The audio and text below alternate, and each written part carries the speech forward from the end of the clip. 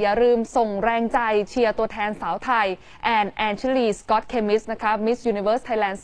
2021 กับความหวังที่จะคว้ามงกุฎที่ 3 ให้กับประเทศไทย พร้อมกับการเปลี่ยนมาตรฐาน รวมถึงจุดยืน Real Size Beauty บนเวทีจักรวาลนะคะ หลังจากรอบ prelim ที่ผ่านมาแอนเองก็ได้รับกระแสทั้งเชิงบวกและเชิงลบค่ะ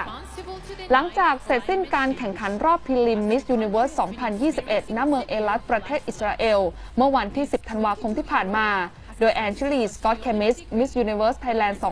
2021 ออกมาแสดงจุดยืน Real Size Beauty บนเวทีจักรวาล ผ่านชุดราตรีสีทอง ที่ไม่มีการอำพรางจุดด้อยบนร่างกายใด ๆ แต่เผยให้เห็นรูปร่างที่แท้จริง รวมไปถึงชุดประจำชาติที่เป็นชุดมวยไทยและชุดว่ายน้ำก็ทำให้เกิดกระแสวิจารณ์ในโลกโซเชียล แบ่งออกเป็น 2 ฝ่าย ทั้งในลักษณะเชิงบวก ที่ต่างให้กำลังใจแอนชิลี ตัวแทนคนไทย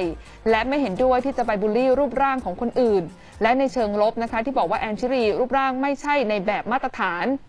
ขณะที่ตัวแอนชิลีเองก็ได้โพสต์ในอินสตาแกรมส่วนตัวเป็นภาษาอังกฤษ ย้ำว่าทุกสิ่งที่แสดงในรอบ prelim เป็นสิ่งที่ฝึกฝนมา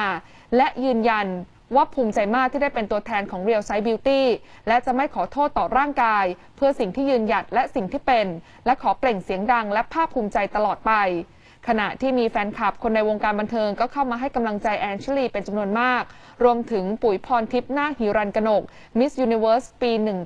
1988 นางงามจักรวาลคนที่ 2 ของประเทศไทย ก็ได้เข้ามาให้กำลังใจแอนชลีและบอกว่าข้อความที่สวยงามของแอนชลีทรงพลัง ขอให้เดินหน้าต่อไปด้วยความมั่นใจและสง่างามตลอดไป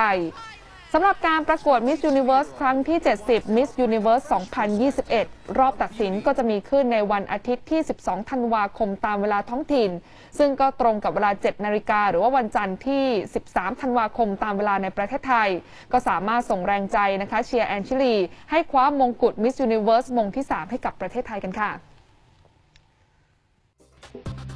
ขอบพระคุณที่รับชมรายการ TNN ข่าวค่ำนะคะ อย่าลืมกด subscribe กดกระดิ่ง กดไลค์ กดแชร์ในทุกช่องทางออนไลน์ของ TNN ช่อง 16 จะได้ไม่พลาดทุกรายการสดและคลิปวิดีโอที่น่าสนใจอีกมากมายค่ะ